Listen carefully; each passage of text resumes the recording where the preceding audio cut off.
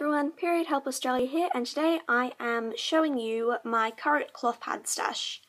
There's not an awful lot, but there's enough for me to start off with, and I've made all of these ones myself, so I'm afraid it's not going to be all that exciting telling you the brands and stuff, because it'll just all be made by me.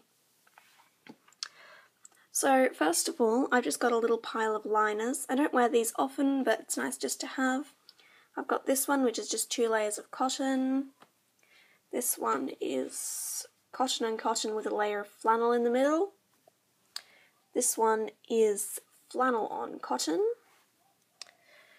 This one's just two layers of cotton. This one is also just two layers of cotton. And this one is cotton on cotton with a layer of cotton batting in it. And it's the same print on both sides, but I won't show you the other side because that's stained and I need to treat that. Okay, now I've got my pile of 8 inch pads, and these are like the curvy style which I've made, and that's my favourite style, which is why Sorry about my throat, guys. Which is why I've got the most of these. So this is a crushed velvet. Oh, that's a bit better. You can sort of. Oh, yeah, you can see it in the light there. It's a black crushed velvet pad, purple fleece backing. Most of them have that fleece. And this one's cotton topped all the rest of my pads are cotton topped. There's this one.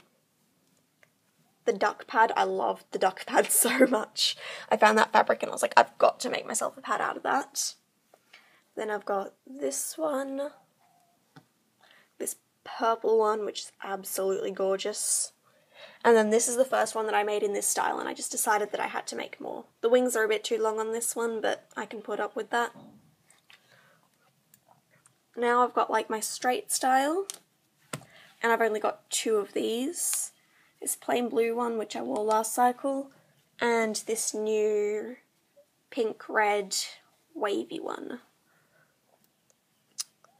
Uh, now I've got this straighter style in this butterfly print, which is so pretty. Um, this is the first successful pad that I ever made. Well, I say successful, but it's sort of bummed out there.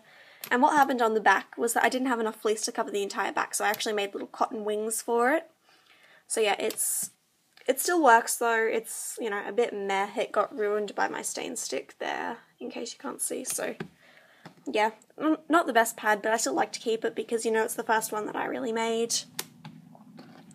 Then here I have, it's about a 10 inch, sorry about that, 10 inch cotton topped, these are all regular absorbency, so they've all got four layers of flannel if I haven't said that already. And then finally I've got these two 10 inch pads, both of which are really, really comfy and perfect for me because I don't bleed at the front, I only bleed towards the back, so I've got all the length of the back just the way I need it. So yeah, that's all of my cloth pads. I hope you enjoyed this video. Uh, please comment, rate and subscribe and I will see you soon. Bye!